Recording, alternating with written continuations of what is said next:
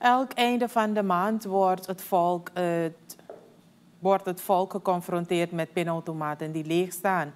VHP-parlementariër Henk Aviankooi vroeg gisteren tijdens de openbare vergadering aandacht hiervoor. De lege en vaak ook defecte pinautomaten zorgen voor irritatie bij het volk. Aviankooi vroeg de regering wat het probleem precies is. Ik weet niet of men plan of men kan plannen. Ik weet echt niet wat het probleem is. Je rijdt van de ene naar de andere, naar zo en zo. En dat, uh, ik bedoel, is iets wat niet onkant is. Wat onkant is in uh, deze moderne tijd. Graag uw aandacht hiervoor via de spreker aan de regering. BEP-parlementariër Ronia Sabina zegt dat hij reeds een brief had geschreven om dit probleem aan te kaarten. Een oorzaak voor de lege pinautomaten zou ook het daglimiet van 3000 SRD kunnen zijn.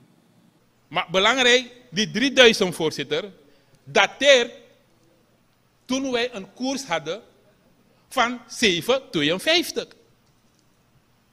Dus die 3000 van toen heeft vandaag de dag een waarde van max 1000 SRD. Dus als je bij je basis naar 3000 dat na, na 3D ja bifsani, hoe zijn money dat die. Of die coupures moeten verruimd worden. Misschien moeten we gaan naar, naar coupures van 1000 of 2000 SRD, voorzitter. Want we zien niet dat de waarde van onze munteenheid en het toeneemt. Integendeel neemt het af met als gevolg dat morgen maar ook is situatie ja. Dat je van, van Wanika helemaal naar Paramaribo Noord moet gaan om 3000 te pinnen. Omdat temu temu tapu adiri sen sai abif bai kande fufura eis kasiu inuman bai atramu sai samoro